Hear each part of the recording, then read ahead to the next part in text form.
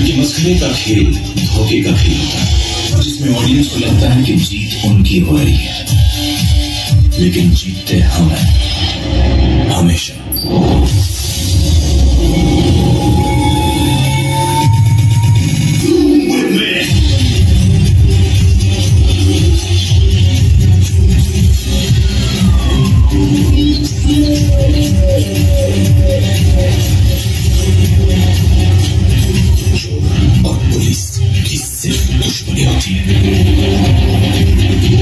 Circus वाला। सिर्फ़ आँखों को नहीं मौत को धोखा देते हैं रोज।